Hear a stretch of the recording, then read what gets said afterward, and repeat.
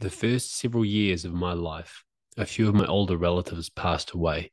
So, from a young age, I was introduced to the reality of death, and I understood that someday we're all going to die. Around the age of seven, I found myself fascinated and disturbed even more with the reality of death.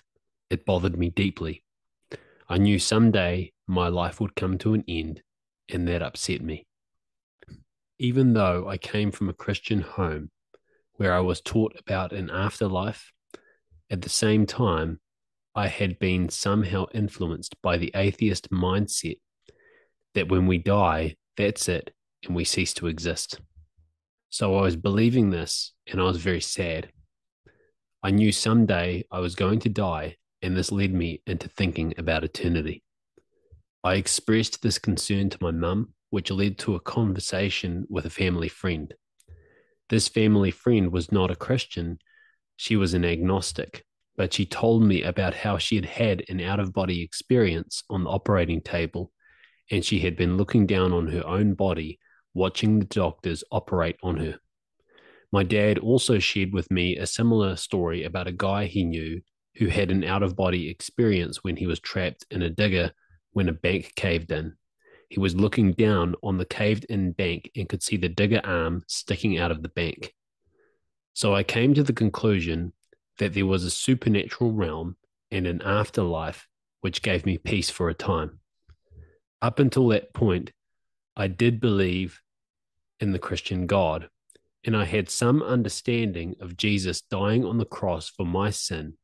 And I suppose I believed it, but I didn't really understand it.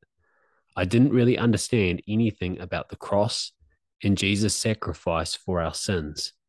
I had not heard the full salvation message. I also knew nothing about sin, redemption, eternal life, hell, or eternal judgment. I was not born again. Several months later, in January 2003, I was still seven years old we were at the dinner table as a family one night and we got talking about Christian things and Christianity in general. This resulted in my parents explaining the full salvation message to us. This is the basic salvation message. In the beginning of creation, one of God's angels became full of pride and set himself up in opposition to God. There was a rebellion in heaven that angel was Satan, also known as the adversary or the evil one. On earth, Adam and Eve, the first man and woman, lived in the Garden of Eden, where there were two trees the tree of life, which they could eat from, and the tree of knowledge of good and evil, which they were forbidden to eat from. If they did this, they would then intimately know good and evil, and they would die. Satan entered the garden and deceived them into eating from the tree of knowledge of good and evil. When they did this, sin entered the world and they died spiritually. Therefore, they were destined someday to die physically, but God had a plan to save people. He set apart the nation of Israel to represent him to the world. He also had them sacrifice animals to atone for sin and to show how because God is a holy God, our sin requires the shedding of blood, it requires the death penalty. The animal sacrifices were only to foreshadow the sacrifice, which would be to end all sacrifices and truly clear us of our sin, a lamb without blemish. So God took human form as Jesus Christ, born of a virgin and ministered on earth. He was the Messiah and the Savior. He was fully God, so he could be without sin, and he was truly man, so he could represent mankind as their substitute, taking the punishment we all deserve. He was unjustly condemned to death and crucified on a Roman cross. When he did this, he paid the penalty for our sin. God then raised him from the dead to show he was innocent and to prove that his sacrifice was sufficient we are declared righteous before God and our sins are forgiven on the basis of Jesus' atoning sacrifice for our sin. It is by grace that is undeserved, unmerited favor received through faith. Salvation is by faith, not by works of the Old Testament law or works of righteousness. Salvation is by trusting in Jesus Christ and the sacrifice he made on the cross for our sin. The Bible teaches that we are to continue trusting in him. The Bible says we will be saved only if we go on believing. This is not a one time decision. Now, while we're not saved by our works of righteousness, this faith is a repentant faith. That means it is preceded by or associated with a conviction of our sin, a godly sorrow for our sin, and a change of heart attitude towards sin, and an inward resolve to turn away from our sin. With this will be a willingness to confess our sin. The names of those who repent and place their trust in Jesus are written in the Lamb's book of life. One day, Jesus will return and the dead will be raised. The books will be opened and everyone will stand before the judgment seat of God. Those whose names are not in the book of life are cast into the lake of fire with Satan and his angels. Those whose names are in the book of life continue in everlasting life in all its fullness with Jesus and other believers. My parents spoke to us about walking with Jesus and how Jesus knocks on the door of our hearts, convicting us and challenging us to make a decision to turn to Him and place our trust in Him.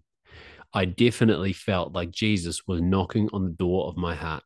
The Holy Spirit was convicting me and challenging me to make a decision. I said I wanted to know Jesus and have everlasting life. My parents led us through a salvation prayer where we confessed our sin, we repented of our sin, we made confession of Jesus Christ as Lord and Savior, and his sacrifice for us on the cross and his shed blood. We called upon the name of the Lord. My parents also anointed us with anointing oil, and I remember trembling with what I believed was the presence of the Holy Spirit and the joy and assurance of knowing my sins were forgiven, and that even though I may die physically, I will go straight to heaven and someday be resurrected and never die ever again. I felt a peace inside and was filled with God's love and joy. I believe water baptism should be one of the first things we do in our Christian walk. It should be sought early on. In the New Testament, they usually did this the same day they placed their faith in Jesus. I didn't receive water baptism until I was in my early teens, but that was just because I didn't know any better. That's when I learned that baptism was a command, and that's when I fully understood the meaning of water baptism. However, I understood the basics of salvation from the age of seven, and I do believe that's when I was born again. That's when I became a believer, and that's when I was justified and forgiven of my sin. And I was passionate about Jesus Christ and the new life I had.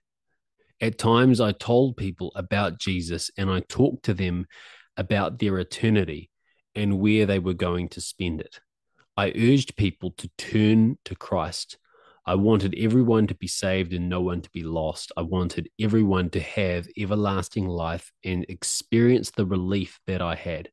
I wanted everyone to know the same awesome, loving God who cared about me enough to save me from eternal death, who wouldn't leave me in the grave, even though, being the sinner I am, I deserved his wrath. I made a lot of mistakes and I was far from perfect. I had my ups and downs, but I knew I was saved by grace through faith, not of works or by the Old Testament law. I loved God. I loved Jesus. I loved the salvation message. I did have a zeal for righteousness. I was determined to pursue holiness and upright character. The forgiveness of sins and eternal life was what the cross did for me. The passion for the Lord, the zeal for righteousness, and the love for others was what the cross did in me. I was a changed person with a new heart. And I would say there was a supernatural transformation. I was a new person and a new creation in Christ Jesus. The old person was being put to death. This continued all through into my teenage years. When I was heading down a wrong path, the Holy Spirit would often convict me deep inside. I would realize the error of my ways and I would confess it to Him and ask God's forgiveness. Partway through my last year at high school, my group class teacher, who was a charismatic Christian, got me involved with starting a lunchtime group with a group of Christians. So the group never really grew, but I learned a lot in that time. My teacher began to speak to us about the need to move in the power of the Holy Spirit. He talked to us about the gifts of the Spirit and he shared with me prophetic words about things I was going to do in the future. And he singled me out in regard to the calling on my life. He said how we should be praying for God to fill us with the Holy Spirit. And he mentioned tongues and he spoke in tongues in front of us. And for anyone who doesn't know, according to the Bible, tongues, which just means languages in the Greek, is the Holy Spirit enabling you to be able to pray in another language.